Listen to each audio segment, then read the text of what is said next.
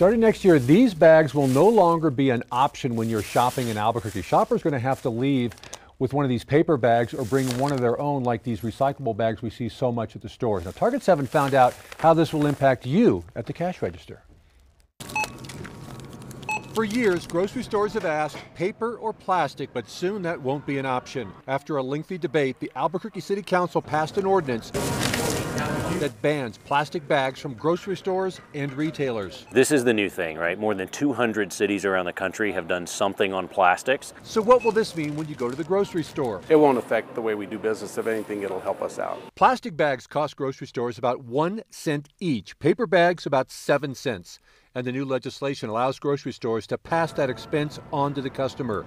As for shoppers, their thoughts on the plastic bag ban are a mixed bag. You have anything that's oh, frozen, yeah. it's gonna melt, and then you'll the paper will break, so it's kind of useless. I think you know they should get rid of the paper ones too. It's like people have enough bags at home, right? I'm not happy for groceries to cost extra because of the bags changing or whatever. For months, what has been called the plastic ban ordinance has been debated. At one point, it looked to prohibit plastic straws, utensils, and containers from restaurants. But several amendments were made at Monday's meeting to focus the ordinance on one thing. No more plastic bags in retail businesses in Albuquerque.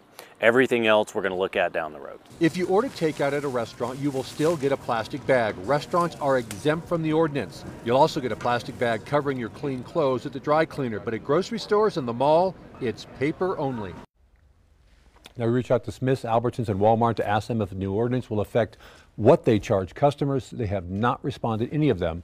The ban goes into effect January 1st.